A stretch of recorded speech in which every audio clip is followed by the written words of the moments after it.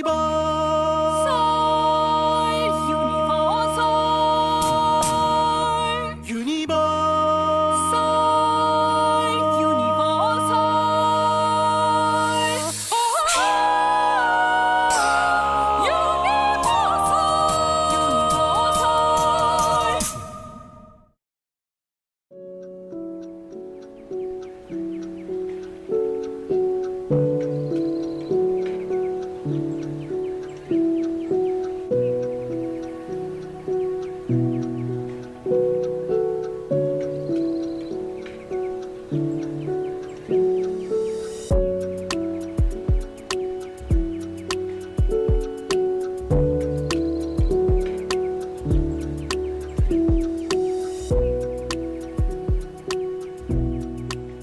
Principle of Archimedes.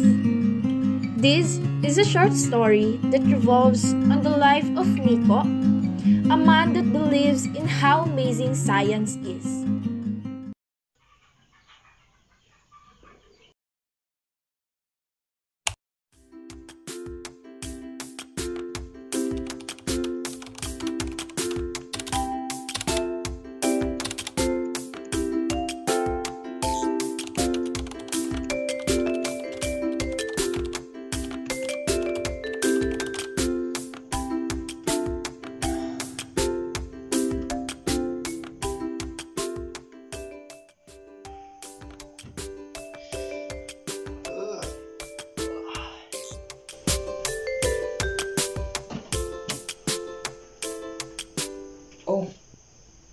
It's already 12 o'clock in the morning.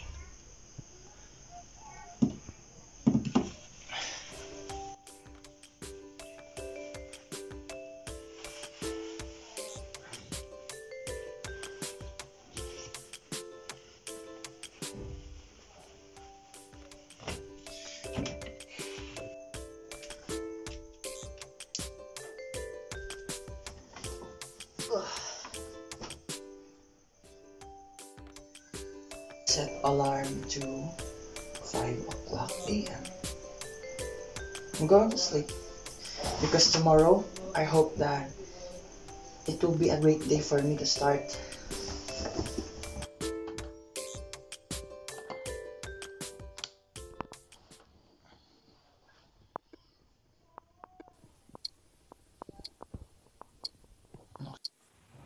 Nico is currently a grade 6 student.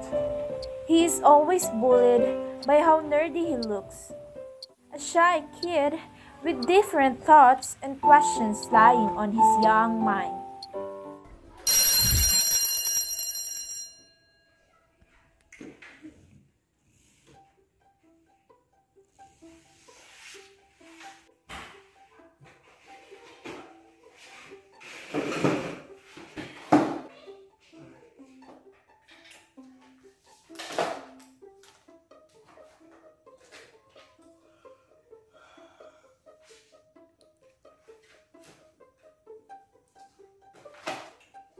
Aren't you get tired of reading? Look, it's science again. Come on, let's go home. I'm always amazed by the mystery science that hides. Even if I'm not the most intelligent student in high school, I will never get tired of learning. I will never be fazed by how complex it is to study science. Really, it's frustrating, you know. Come on, let's go home. It's time.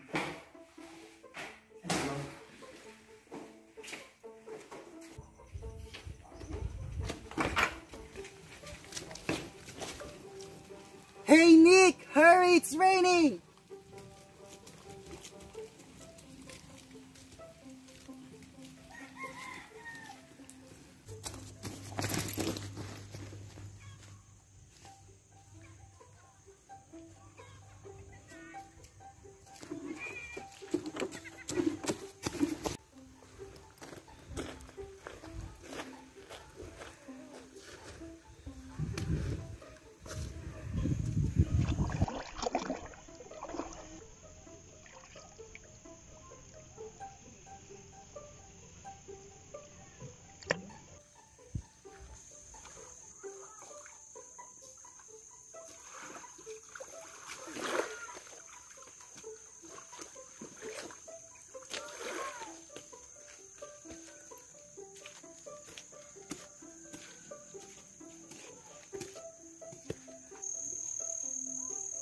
Hey Nick, Yes? I'm just wondering why did the boat float and the stone sunk? Aren't we heavier? Yes, we're heavier, but. Hmm. You have a point. Just, just wondering why did the boat float and the stone sunk? Aren't we aren't we heavier? Aren't we heavier?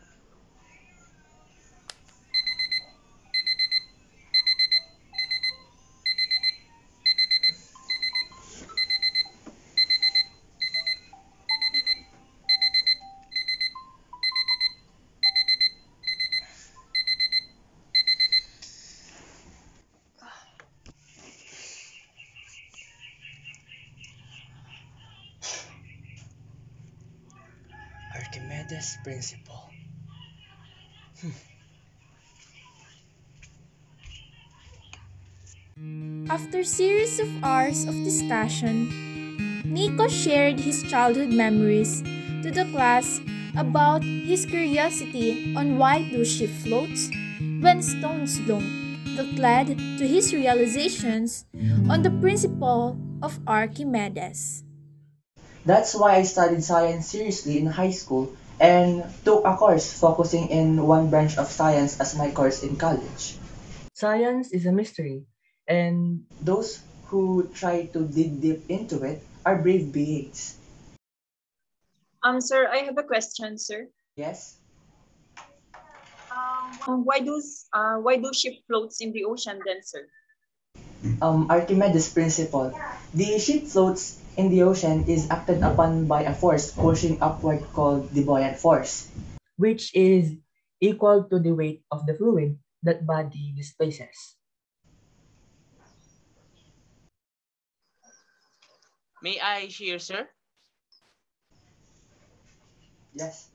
According to Archimedes' principle, if the body is completely submerged, the volume of the fluid displaced is equal to the volume of the body. If the body is only partially submerged, the volume of the fluid displaced is equal to the volume of the part of the body that is submerged. Oh, it's already time. So, before our class ends, I would like to tell you, my dear students, that no matter how life weights you down, increase your force in order to float And be a ship that stays on top.